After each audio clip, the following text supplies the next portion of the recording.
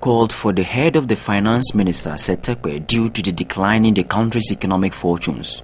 However, the 2012 presidential candidate for the Independent People's Party, Kofi Akpaloo, thinks the minister cannot take the blame alone. The problem is what we have at the Bank of Ghana. We need to do reshuffle there. And then even the finance ministry, not the, the ministers, even the directors at the finance ministry, we need to reshuffle most of them.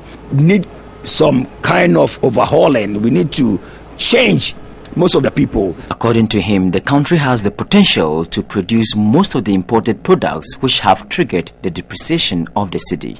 The same amount of sugar that we consume per annum, if strategically we put money into uh, sugar cane plantation and then we put more money there, the equipment, everything is there. Let's say $200 million. It goes into it strategically I mean, we'll get whatever quantity that we want every year. He said under his leadership, government would have no hand in doing business.